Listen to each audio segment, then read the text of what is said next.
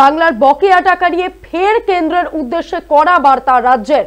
শুক্রবার রাজভবনের অনুষ্ঠানে গিয়ে সাংবাদিকদের সঙ্গে কথা বলার সময় মুখ্যমন্ত্রী মমতা বন্দ্যোপাধ্যায় জানিয়েছেন, আগামী সাত দিনের মধ্যে কেন্দ্র টাকা না দিলে বৃহত্তর আন্দোলন হবে এমনটাই সূত্রের খবর।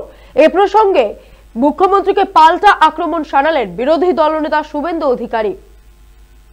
কে হরিদাস পাল ডেডলাইন দেওয়া বেল পাকলে কাকের কি? ওনার ভাইপো ডেডলাইন দিয়েছিলেন দিল্লিতে। রাজভবনের সামনে বলছিলেন যে, উঠে গেলাম এখান থেকে, রাজ্যপাল দেখা করলেন, আসছি উঠবো না। কবে থেকে উঠবো না? পয়লা নভেম্বর থেকে। কত সালে? দুহাজার তেইশ সালে। ক মাস হয়ে গেছে? তিন মাস হয়ে গেছে।